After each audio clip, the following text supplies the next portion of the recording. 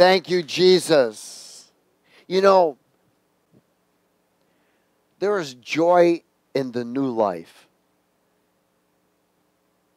And that's what the enemy wants to steal, is the joy, you know. He steals, tries to attempt to steal your identity, but the joy of new life.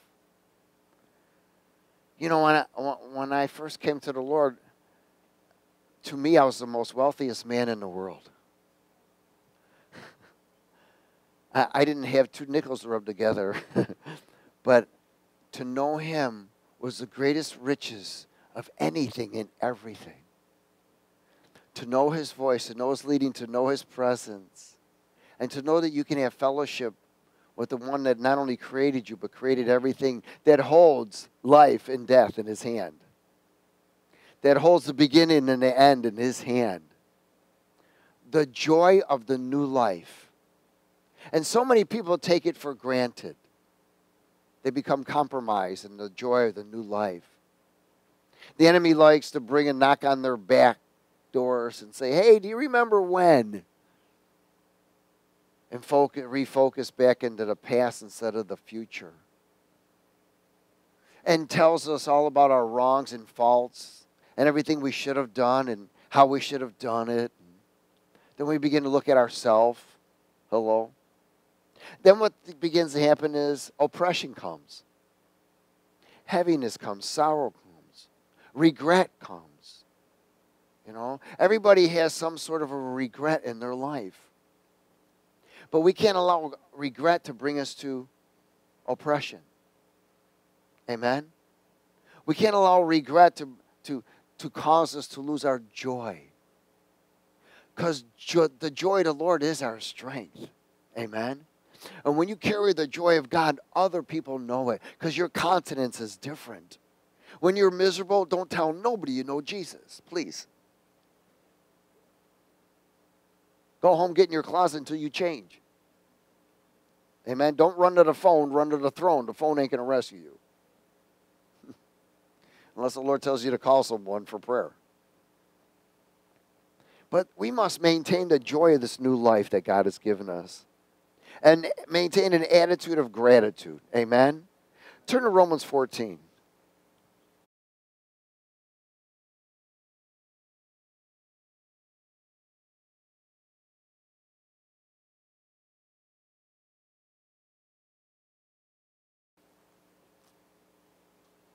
Romans 14 and verse 14.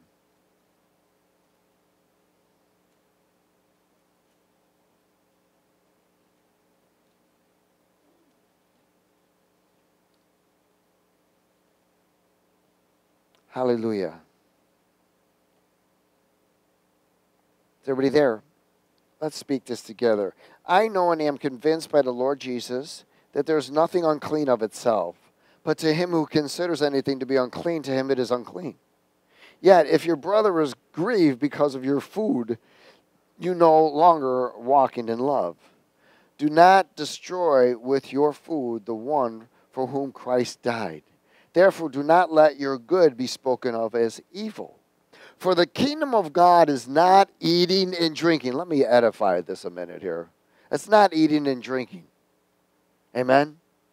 It is not eating and drinking. This is not the kingdom of God. That's the flesh. Amen?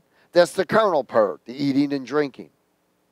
He said the kingdom of God is not eating and drinking. Amen? So, already see that. But what? Righteousness and peace and joy in the Holy Spirit.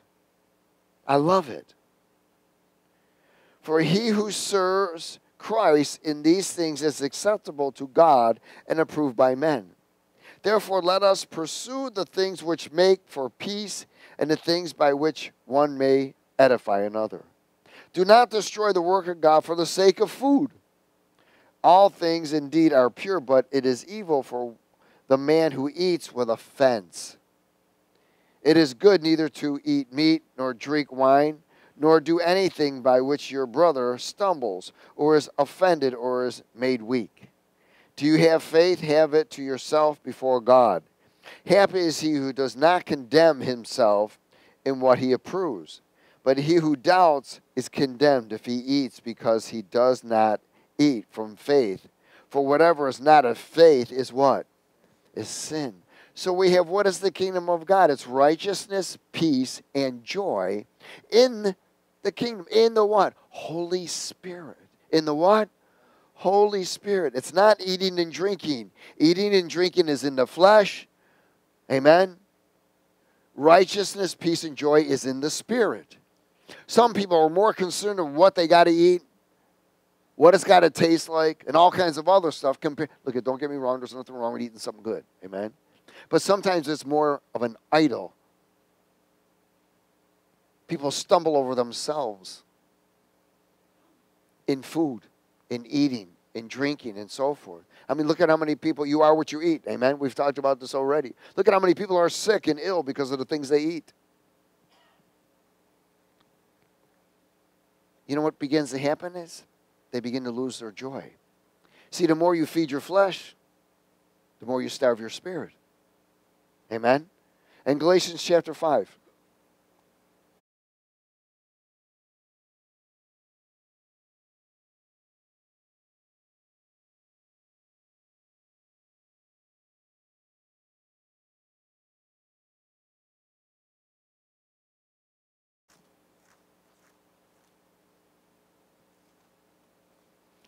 The joy, joy of new life. Let's maintain the joy of new life. Amen.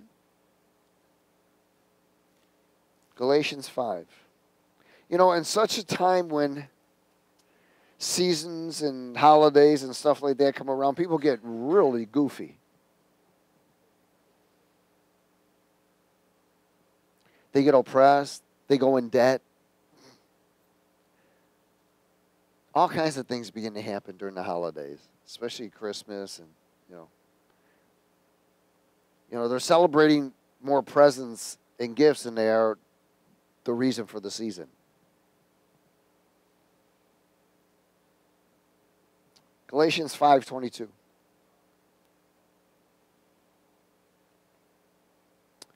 Let's speak it. But the fruit of the Spirit is love, joy, peace, long suffering, kindness, goodness, faithfulness, gentleness, self control. Against such there is no law. So we see there is the in the Spirit, in the kingdom of God, in the Holy Ghost is righteousness, peace, and joy. In the fruits of the Spirit, there's love, joy, and peace. Amen. Now I look at joy, J O Y, amen, in the area because your number one enemy is you. Does everybody get it? Your old man is your number one enemy. Your flesh, yourself. Now there is a new life. Amen. So I look at joy because your old man is always coming at you no matter what. I look at joy as jumping over yourself. Does everybody get it? So when your old man is, you know, jump over it. That's called joy. Jumping over yourself. Hello. So in this, you're jumping over, you are jumping over yourself. You're avoiding the voice of torment, sorrow, and oppression. Amen. You ain't got to take it. Just jump over it. Acts chapter 10. Jump.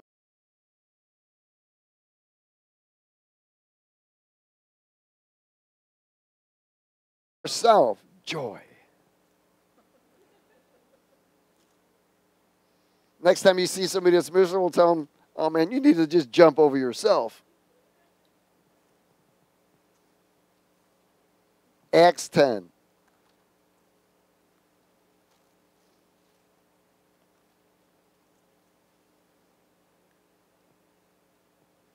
In verse 37. Ooh, snap. Acts 10 37. Hallelujah.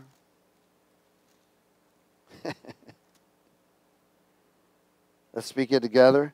That word you know, which was proclaimed throughout all Judea and began from Galilee after the baptism which John preached, how God anointed Jesus of Nazareth with the Holy Spirit and with power, who went about doing good and healing all who were oppressed by the devil, for God was what? With him. Okay, so we talked about righteousness, peace, and joy in the Holy Spirit. Amen. Then we talked about the fruits of the Spirit being in love and joy again. Amen. Now we talk about the anointing of the Holy Spirit with power that overcomes the devil of oppression. Because what steals your joy? The devil. Amen. Oppression. Never look at what you don't have. Be grateful of what you have. When you begin to compare up with your other people what you don't have, oh man, how come they have it and I don't? Because you ain't earned it yet, homie. When God says you can have it, you can have it. Amen? It's the way it is. He knows when you can have it, and He knows what you need. Well, I've been praying this for, for 20 years. Well, you've probably been praying the wrong thing. Selfish flesh creature. Hello? See, we want God to have the last word in everything. Lord, what do you think is best for me? Um, and that's how we have to talk. That's how we are with Him. He knows what's best. Daddy knows best. Amen? So we have, again, in the Holy Spirit, righteousness, peace, and joy. Amen? You got the fruits of the Spirit love, joy, and peace. And then you have the anointing of the Holy Spirit with power to overcome the devil of oppression. Amen? Remember, joy is jumping over yourself. Psalm 16.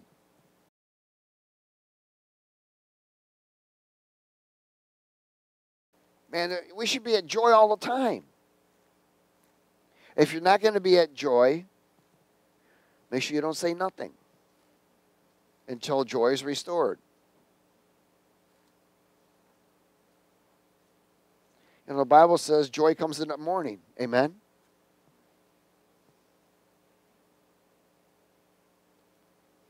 If you repent, turn away, walk away. Psalm 16:10.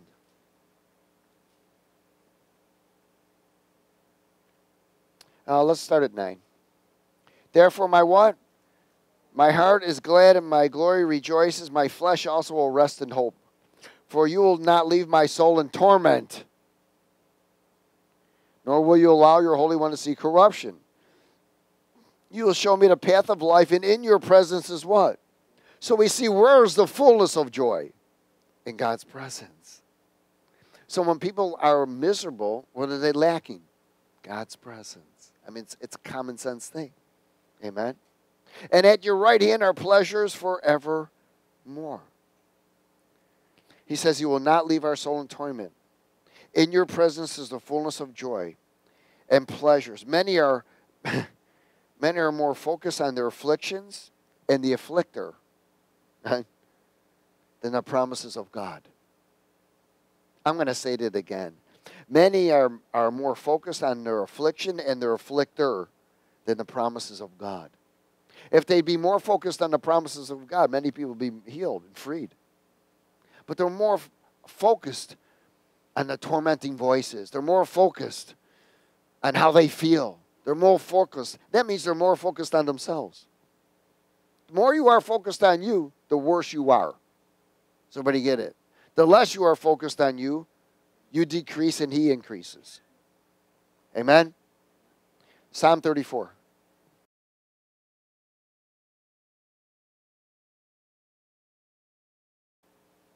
verse 19.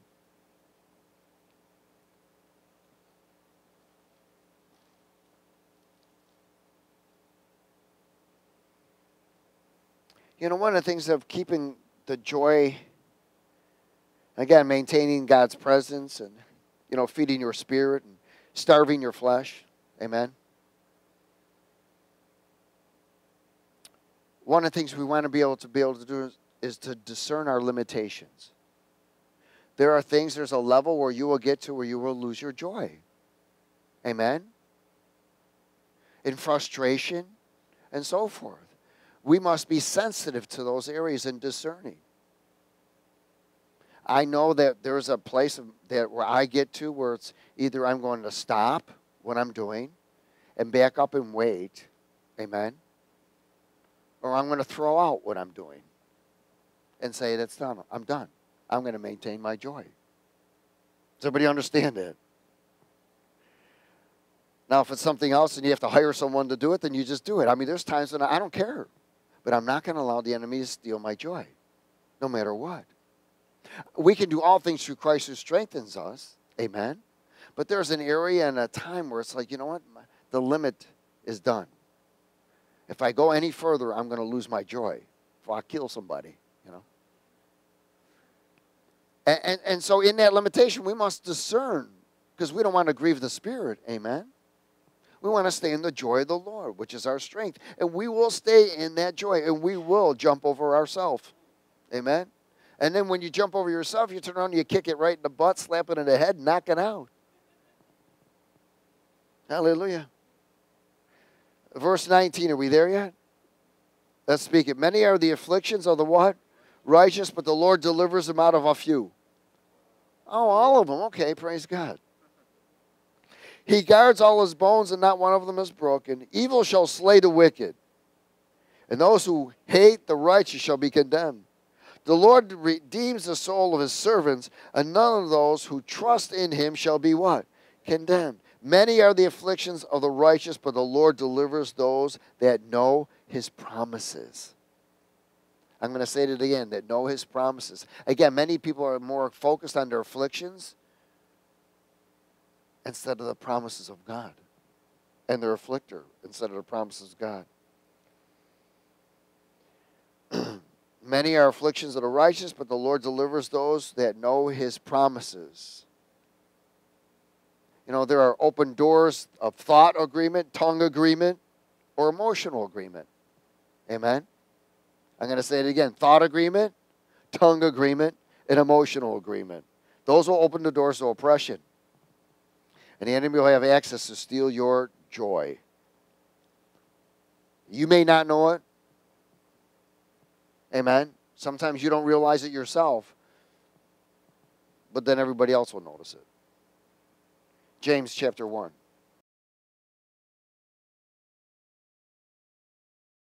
Your attitude will show it.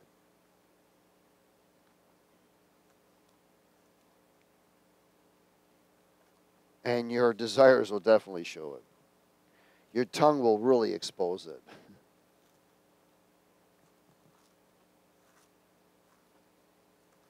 Joy, joy, and joy. James chapter 1, verse 2. Let's speak it, please.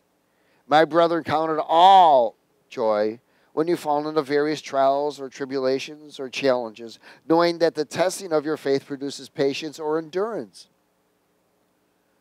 But let the patience have its perfect work, that you may be perfect and complete, lacking nothing. Here's when the challenges come. Well, we're to consider it joy. Okay, praise God. Whatever it is, you might have done, made a mistake. You may have gotten an accident. You may have not paid a bill on time. You know, something might have happened. You know that you made a mistake. Amen. That's why it's they're accidents. They're mis. You know, you, you might have forgot something. Whatever it is, or something innocent. Amen. But in that, we've got to count it joy.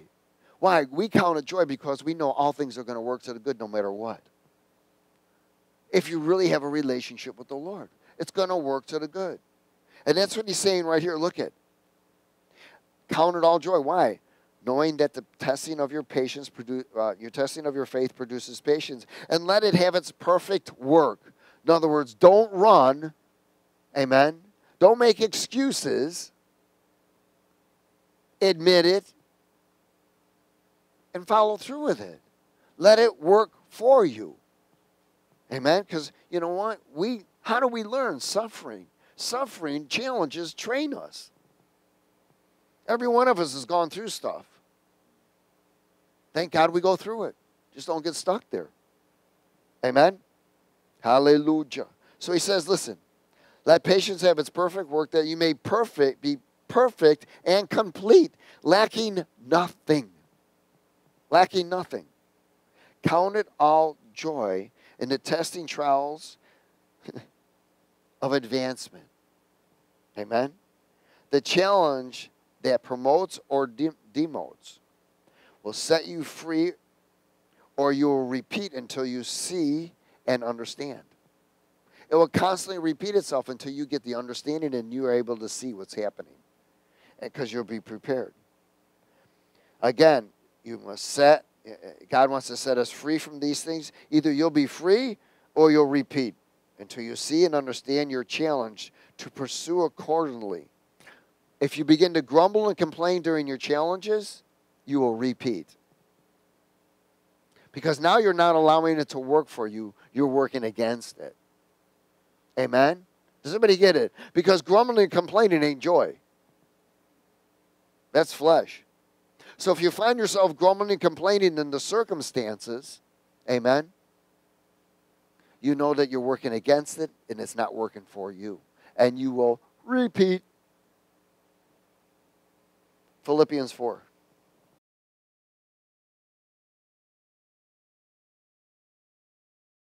That means we must maintain our joy.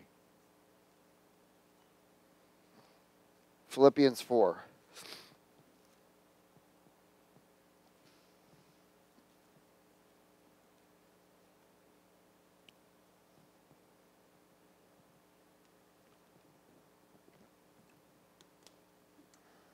In verse 4,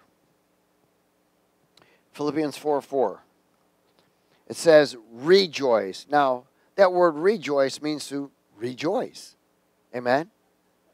Somebody get it? So if you've joiced once, you got to joice again. It means be rejoiced again, redo it again, get connected. Amen? Everyone say rejoice means rejoice. There it is. Rejoice when you feel like it.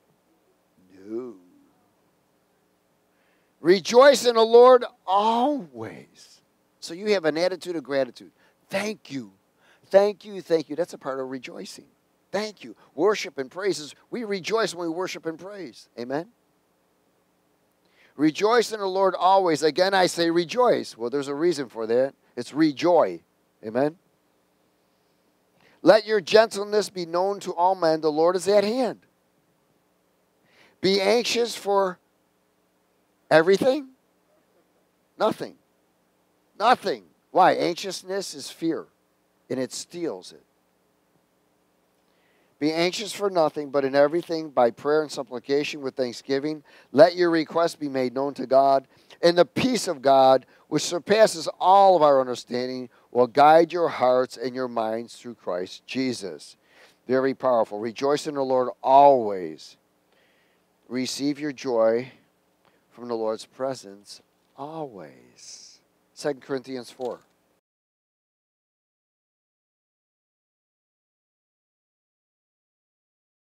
When you sense that, that limitation where anxiousness comes, fear comes, anxiety comes, stress comes, stop. Stop. Because if you go forward, you're going to lose your joy. Amen?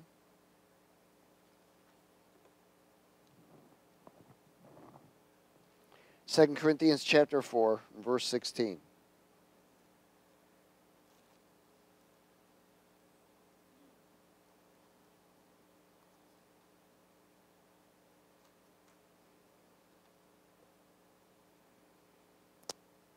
Let's speak it together. Therefore, we do not lose heart, even though our outward man is perishing, yet the inward man is being renewed day by day. For our light affliction, which is but for a moment, is working for us a far more exceeding and eternal weight of glory. While we do not look at the things which are seen, but at the things which are not seen. For the things which are seen are temporary, but the things which are not seen are what? Eternal. So we're to stand fast, hold on. For our temporary affliction is working for us. Only if you allow it to work. Amen? Only if you allow it to work. We must refocus. Re what? Refocus, rejoice, and reconnect. I'm going to say it again. We must refocus, rejoice, and reconnect from the temporary challenges, the burdens and trials and tests and attacks, to the presence and the eternal presence of joy in the Lord. We must refocus. We must reconnect. It's up to us to do that. And what are we doing? We're going to refocus, we're going to rejoice, and we're going to reconnect to the eternal presence of joy in the Lord, which brings strength to overcome. Amen? To overcome everything. Remember, you're jumping over yourself. Amen? Matthew 11.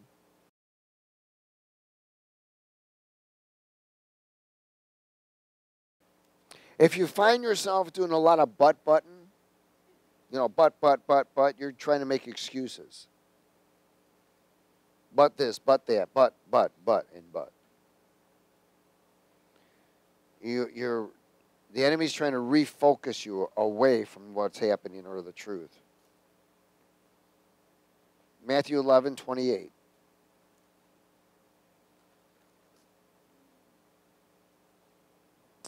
Remember, we're not the butt ministry, amen? We're the head, not the tail. Matthew 11, 28. Let's speak it together. Come to me, all you who labor and are heavy laden, and I will give you rest. Take my yoke upon you, and what? And learn from me. For I am gentle and lowly in heart, and you will find rest for your souls. My yoke is easy and my burden is light. The yoke is a reputation. In other words, you're yoking one, uh, tying to each other. But the yoke in this is God's anointing. It's his what? His anointing. This is what it is. He said, Yoke yourself to my anointing and learn from me. Does everybody understand that? What does the word say? It says that the anointing is the one that teaches us. We want to be taught by the anointing, not by human concepts and precepts, but by eternal ones. The anointing is what teaches us.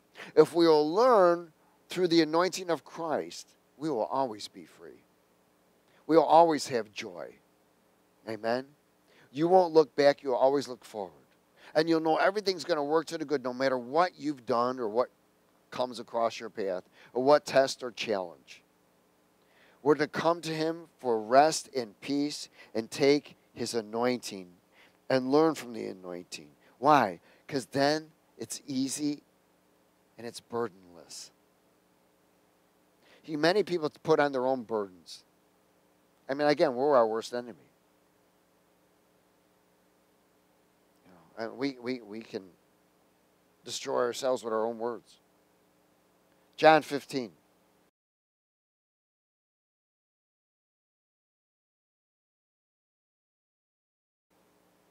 You know, it's supposed to be a season of joy. Do not go to the mall. It's not joy.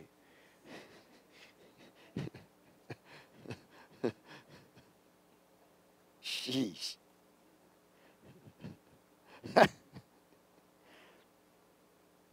John 15, verse 9. Let's speak it as a father loved me, I also have loved you. Abide in my love. If you keep my commandments, you will abide in my love, just as I have kept my Father's commandments and abide in his love. These things I have spoken to you, that my joy may remain in you, and that your joy may be full. This is my commandment, that you love one another as I have loved you. Greater love has no one than this, that to lay down one's life for a friend. If you are my friends, if you are what if you are my fr- you are my friends if you do whatever I what? Command you to. Mm. Anybody want to be a friend of the Lord?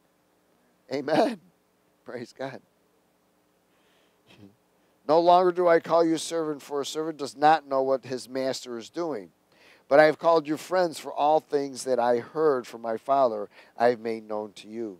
You did not choose me, but I chose you and appointed you that you should go and bear fruit, and that your fruit should remain and that whatever you ask the Father in my name, he may give you. These things I command you, that you love one another. If the world hates you, you know that it hated me before it hated you. If you were of the world, the world would love its own. Yet, because you are not of the world, but I chose you out of the world, therefore the world hates you. Remember the word that I said to you a servant is not greater than his master. If they persecuted me, they will also persecute you. If they if they if they kept my word, they will keep yours also. But all these things they will do to you for my name's sake, because they do not know him who sent me. Powerful. And what was his purpose? He was saying, man, look at I'm, my, my prayer is that my joy stays with you no matter what you go through. Amen. It's not, see, the world does not know joy. They know happiness and gladness, but true joy only comes from the presence of God. We might think we were joyful out there, but we really were not joyful. True joy comes from the presence of God. And you don't need to purchase anything. Amen. You don't need to go out and uh, complete something to have joy. You just need to get in God's presence and you have joy. It's free. He paid the price for us. Amen. Praise God. John 17.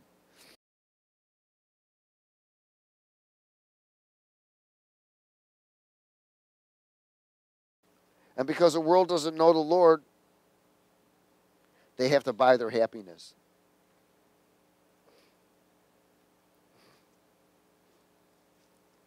John 17, verse 9.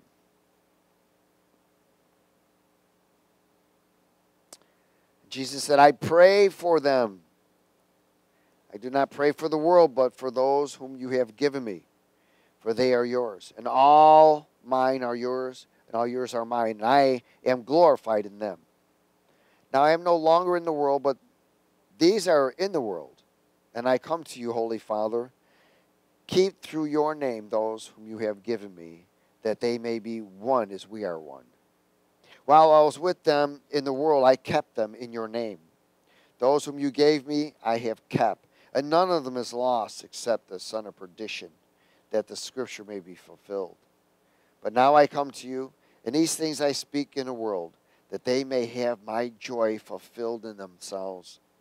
I have given them your word, and the world, world has hated them because they are not of the world, just as I am not of the world.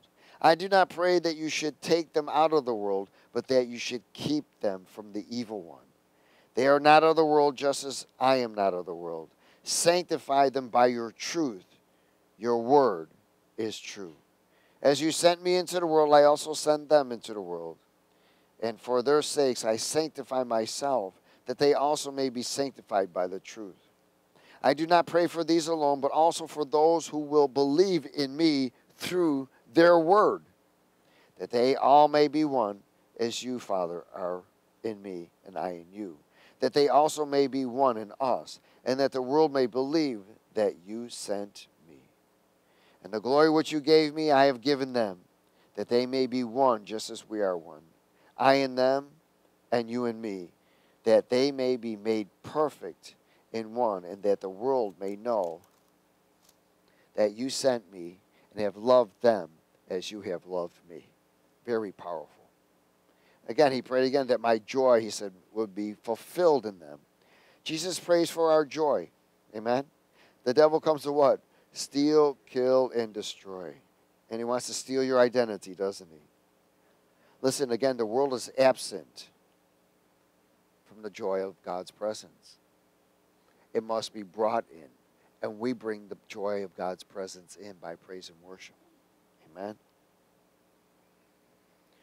Uh, Proverbs 17.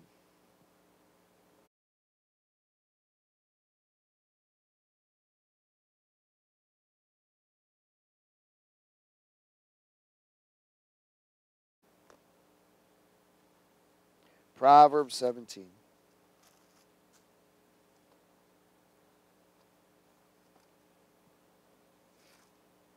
Keep your joy.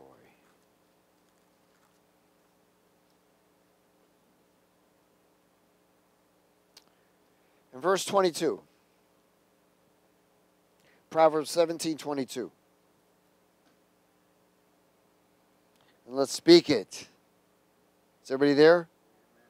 All right. A merry heart does good. That's like a joyful heart. A merry heart does good. Like what? Medicine. But a broken spirit dries the bones. They've physically, statistically, and everything out. A person that is a joyful heart, merry heart, heals quicker. When a person's miserable, but look at how, how many people have been sick with all kinds of stuff, and even the medical field tries to oppress them. You know, it's not very joyful in the hospital. Although when we go in the hospital, we bring joy. Amen. And so in that, you stay in the joy of the Lord, man, you stay healthier. You stay youthful. The joy of the Lord is good medicine for you. And I'm going to close at John 10. So know your limitation.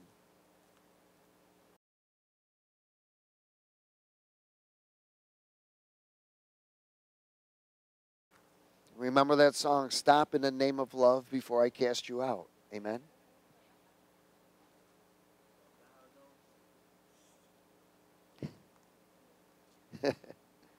Who was that by the Temptations? No?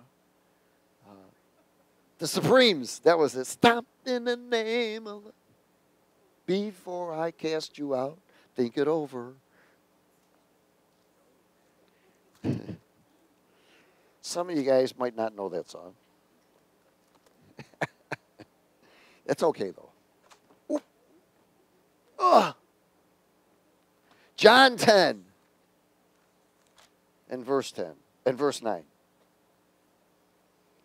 Let's speak it. I am the door. If anyone enters by me, he will be saved and will go in and out and find pasture.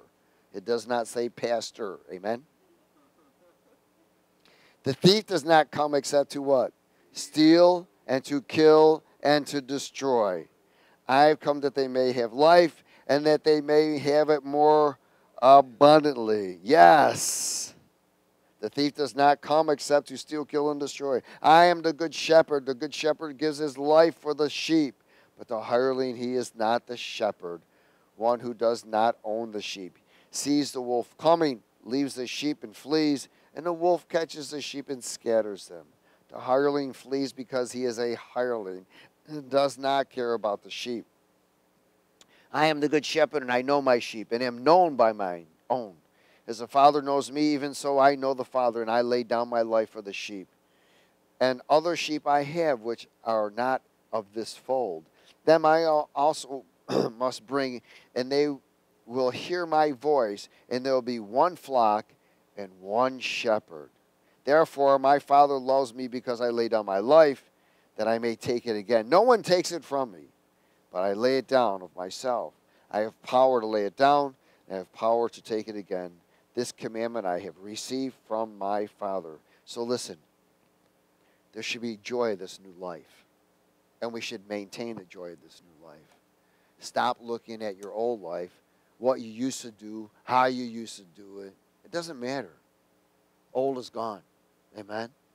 It's done and over with we must come to the end of ourself and the old. Because you can't get anything new until the old is over. If you're still carrying old and new, it won't, it won't mix. It's a mixed anointing. Amen? You'll have problems. You'll struggle. We must maintain the joy of this new life. Many people are still trying to find joy, and they're finding it in the wrong places. It's not in a bottle, it's not in a joint, it's not in drugs, it's not in alcohol, it's not in sex. It's in God's presence. It's not in wealth, it's in God's presence. That's it. The joy comes from God's presence, and worship brings us into his presence where we can receive joy. Don't let the enemy steal it. Amen. Praise God. Father, we thank you for your word. We are honored and blessed. We ask that you seal this word of revelation to each and every one of us that we may be reminded of this wonderful new life and everything that you've done for us and walk in joy with a merry and joyful heart and be grateful in everything for your glory in Jesus' name. Everybody said amen. Hallelujah. Give somebody a hug. Tell them you got it.